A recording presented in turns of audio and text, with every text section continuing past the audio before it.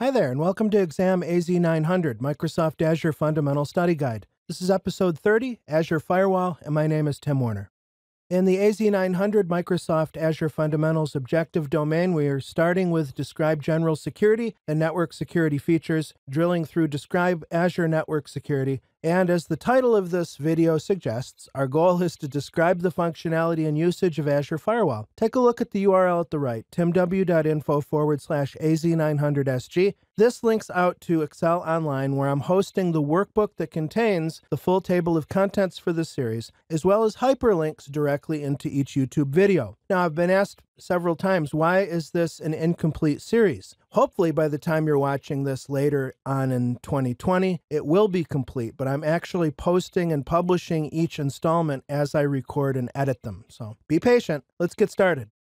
Let's take the following situation, and I'm actually going to base this situation on what we covered in the previous episode of this series on network security groups. Let's say that you're using NSGs to protect your virtual machines on your Azure virtual networks, and you're not getting enough flexibility. To that point, in the previous lesson, I gave an example of what if you need to make sure that your virtual machines can get out to certain internet sites, maybe to download software, but no other internet based traffic. It's tough to do that because NSGs don't operate at that high of a level in the Open Systems Interconnection or OSI reference model. Also, NSGs can be problematic to troubleshoot, specifically if you've bound or associated an NSG at both the VM NIC level as well as the subnet level. Lastly, there are other firewall appliances available in the Azure Marketplace, but you may not want to hassle with that extra licensing and extra configuration setup. So I'm leading this situation down a particular path, obviously, and that is towards Azure Firewall, which is a stateful packet inspection firewall that's managed by Microsoft. Stateful means that the firewall is able to classify network communications as it passes through the firewall and as the firewall rule set evaluates those traffic streams and can keep track of them and understand that if an inbound rule on a such and so a port is enabled to such and so a VM, then the return traffic in that conversation you do not have to create a corresponding rule for. Firewall is smart enough to figure that out. Some value propositions here is that the Azure Firewall has a much lower hassle factor as compared to deploying a third party network virtual appliance or NVA in Azure. The Azure Firewall, like I said, is managed so it's got hyperscale and high availability baked right into it. It scales in the background as your traffic increases, so you get predictable performance, and you don't have to worry about manually scaling network virtual appliances. And then another huge advantage is that it's natively integrated with other Azure services. As I said, there's not a separate license that you have to worry about, and because Azure Firewall is a native Azure Resource Manager resource, you have turnkey integration with Azure governance like Azure policy and role based access control and taxonomic tagging and log analytics. All of that stuff is available. And let's not forget Azure Sentinel. You can absolutely track your Azure firewall through Azure Sentinel.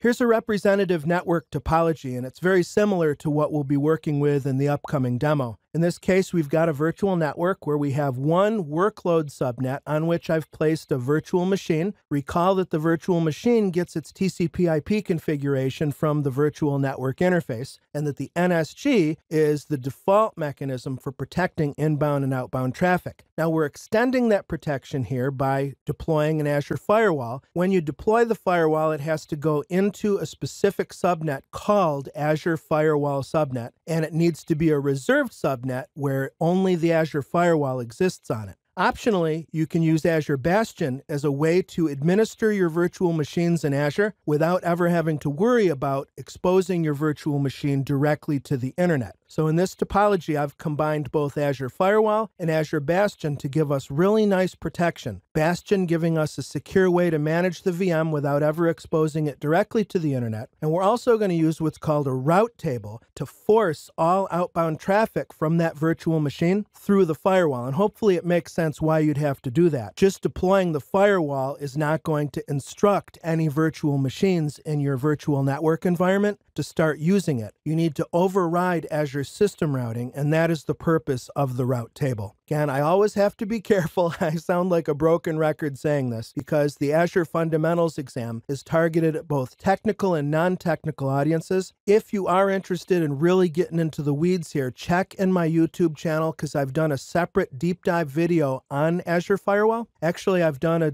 couple of videos on Azure Bastion in my channel also. And of course, the Azure Security Administrator, the AZ500 certification exam, deals with Azure security as an entire skill set. So I wanted to offer that to you as well. So let's get into that brief demo.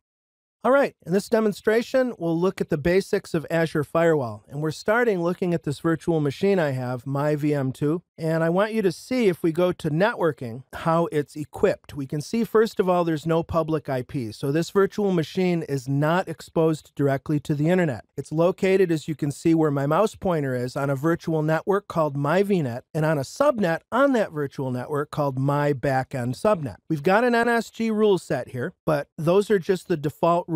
In the previous lesson, I told you about the default rules, and you'll remember, actually, I'll show you by switching to outbound port rules, that one of the built in rules, this allow internet outbound, explicitly allows all traffic destined for the internet. However, I've deployed Azure Firewall onto this MyVNet virtual network, and I haven't created any rules. And remember, the way a firewall works is unless you explicitly create allow traffic rules, that traffic will all be denied by default. And we can demonstrate that by connecting to the VM. I'll go to Overview Connect, and I've also deployed a Bastion host, which is, again is a managed jump box, and we can come into it directly in the browser here. I'll authenticate with a credential that I know is good on that virtual machine, and our Bastion session passes us in here, and it takes us into, I was already working in this session. As you can see, let me make the browser a little bit smaller to show you context. The bottom taskbar is my actual machine that I'm teaching on, and then this upper one is the my VM2 virtual machine. And I attempted to go to Google and it says that the action is denied because no rules matched. Let's say that we wanted to configure this server to automatically go to PowerShellGallery.com to download business software. PowerShellGallery.com. And again, that's denied by default because I'm routing traffic through the Azure Firewall. I created a route table that says any outbound traffic, do not pass go, do not collect $200, go to Azure Firewall. And as I said, I haven't yet created any rules on that firewall, but we're going to fix that up right now by first browsing to the firewall's blade.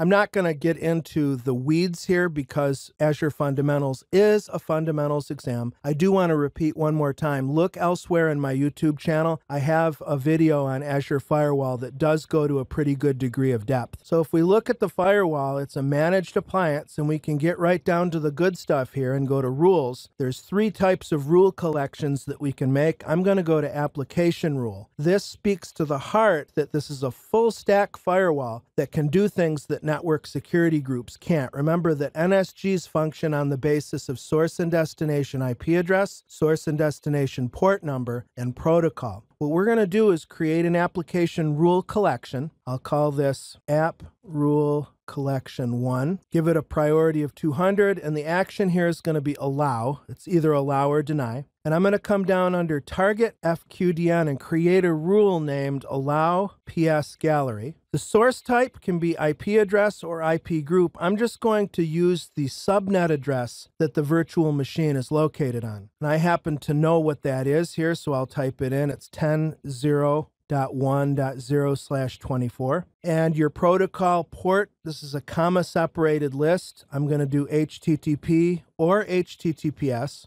And for target FQDNs, again, this is a comma separated list, but I'm just going to do PowerShellGallery.com. And when I press tab, an evaluation takes place. And if your choice is valid in the Azure Resource Manager schema, you get a check. Otherwise, if you put an invalid option, you would get a X, a red X that tells you that. I think that's all we need to do here. We've got our name priority, our action, and we've created a target FQDN rule that will explicitly allow traffic from the subnet that my VM is located on, and it will allow connections over HTTP or HTTPS to PowerShellGallery.com. That looks pretty good. So we'll wait a moment to let the rule update on the firewall. While we're waiting for that update to take place, let me just quickly jump out to route tables just to quickly show you what that resource looks like. Again, a route table is a way to customize your routing paths in your Azure Virtual Network. I've created a single route here called Firewall Route, and if we look at it, it says that the address prefix 0.0.0.0 slash 0, that's a shorthand notation for any destination. The next hop type would be there's a bunch of different choices, but for Azure Firewall, you choose virtual appliance. And then the next hop address is the private IP address of the Azure Firewall. So I just looked that up. And once you create your route table and your route, the last thing you need to do is associate it to one or more subnets. And I just simply browsed to the subnets blade, clicked associate, and browsed to my VNet virtual network. And I selected the my backend subnet subnet because that's where my my VM2, a lot of my's going on, is located. All right, so to test this out from our my VM2 connection in Azure Bastion, let's attempt a connection to PowerShellGallery.com, shall we? There we go. Excellent. Now, because we created the rule only for PowerShell Gallery, that should mean a connection to another site, for example, google.com, should be blocked, and it is. So there it is, some of the basic elements of Azure Firewall in action. Learning resources. I've picked out some good ones in the Azure documentation. First, the Azure Firewall docs at timw.info forward slash NF1. Next, if you want some more details on the different types of rule sets supported by Azure Firewall, timw.info forward slash NF2. And then, if you're interested in network address translation, this is a way that some Azure administrators use to securely manage their virtual machines from across the internet without having to use, say, Azure Bastion or another kind of jump host. Now, NAT is controversial because it's really relying upon what's called security by obscurity. Nonetheless, if you want to learn about DNAT filtering or destination NAT filtering, it's timw.info forward slash NF3. Awesome. Another lesson down. Congratulations and thank you so much. Our next episode, we're continuing our trolley ride through Azure Security. We'll look at the product Distributed Denial of Service or DDoS protection. You can find me on Twitter at TechTrainerTim. All of my full length courses are in the Pluralsight library at timw.info forward slash PS. My website is techtrainertim.com, and I wish you all the best. Happy studying. I'll see you around.